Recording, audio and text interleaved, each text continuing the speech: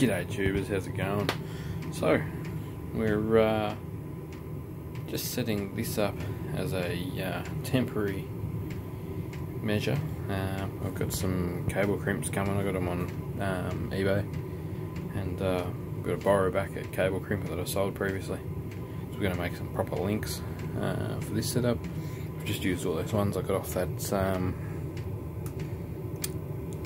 what are they called? Boom lift. Uh, 48 volt boom lift that I scrapped all the gear out of.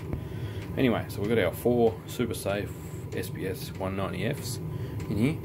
I just found on the internet the other day that these were 900 US dollars each when they were new. No, crazy. Anyhow, so out of the shed we've retired a two and a half thousand watt pure sine wave, 48, uh, 24 volt. So we've got these in a 24 volt configuration 20 8 odd volts of charge at the moment. Um, we have just the single DC incomer there which is going up onto this roof which just has a single 250 watt 38 volt grid type panel. Um, into the EPEver. VS 30-24 so I can do 24 volts and up to 30 amps. And what do we got going on here says your voltage 27.1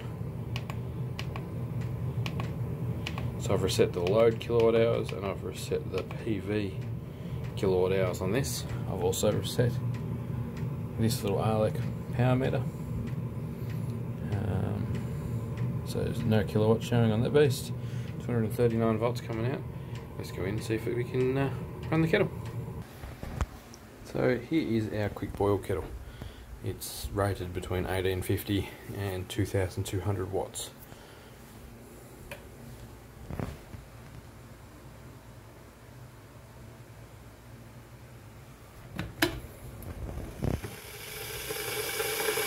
dirty inside.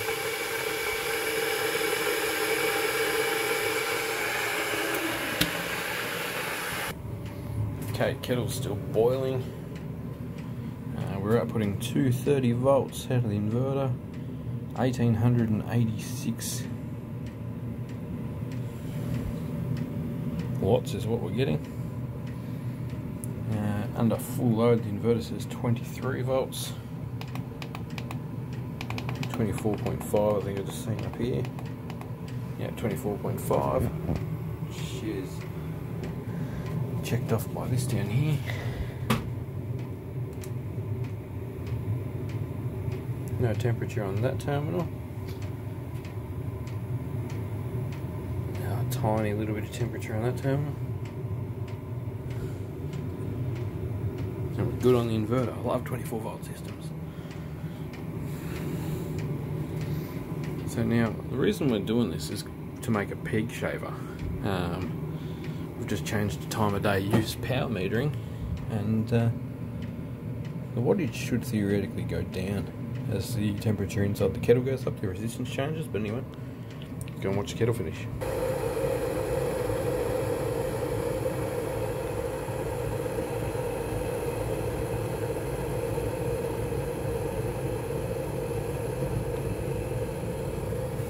So was that? Almost a litre. Not three quarters of a litre. That was cold too, by the way. The last coffee I made was three hours ago or something. So.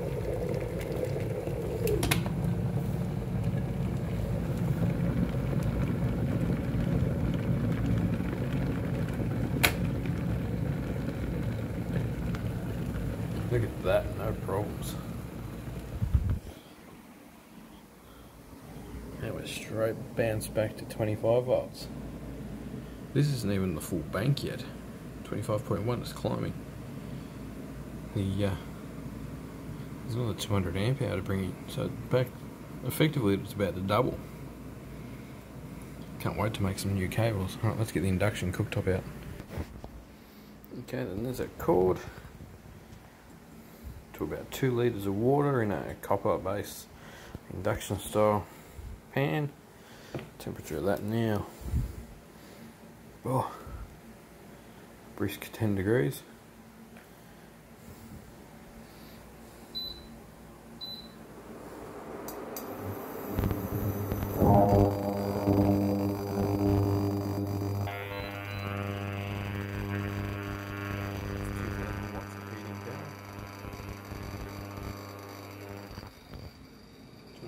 Six out there.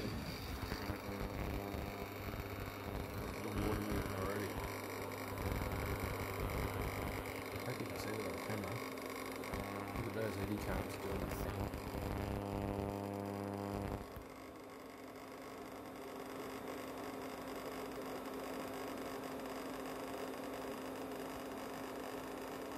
If you haven't played with induction much, it is amazing.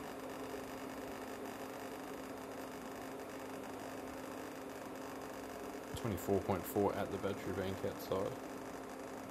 Volts that is.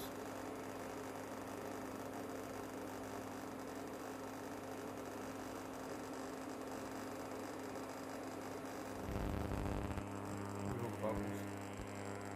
Little piece of pasta. Yeah, I didn't wash it. Sorry, guys.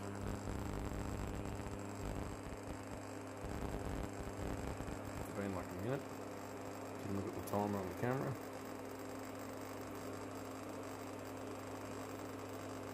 Twenty-four point four outside, so we're only at the battery's nominal voltage and two thousand watts of load.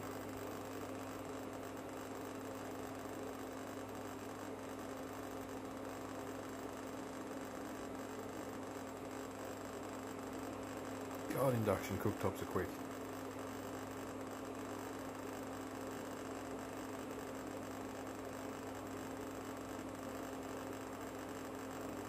Just find it amazing what it does to the water.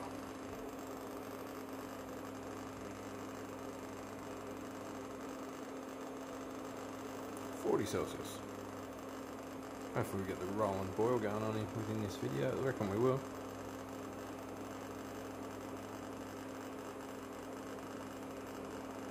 Still 24.4 at the battery's terminals.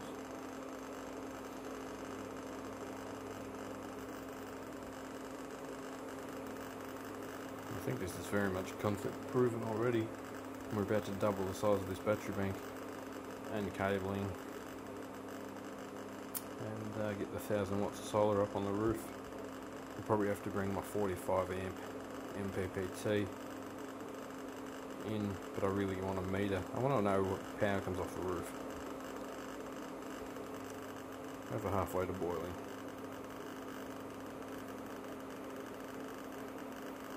Normal stove doesn't do that, it's got bubbles in there. It's like fast than LPG. Or propane. We call it LPG in Australia, liquid petroleum gas.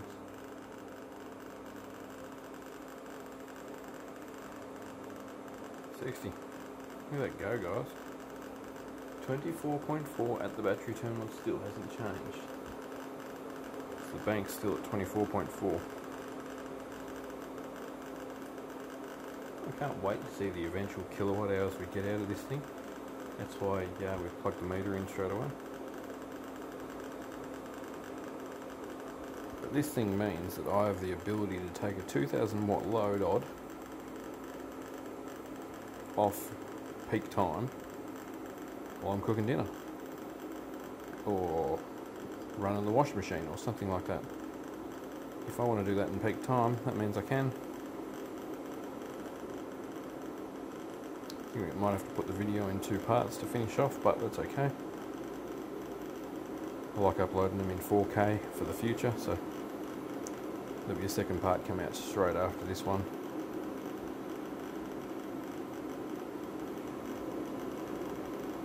Twenty-four point three at the battery terminals.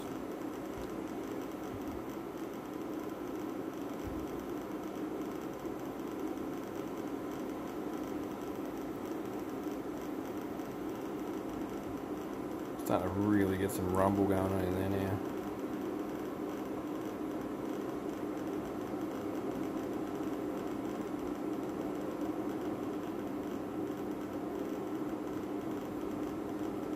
Alright guys, we're going to have to make a part 2 to this.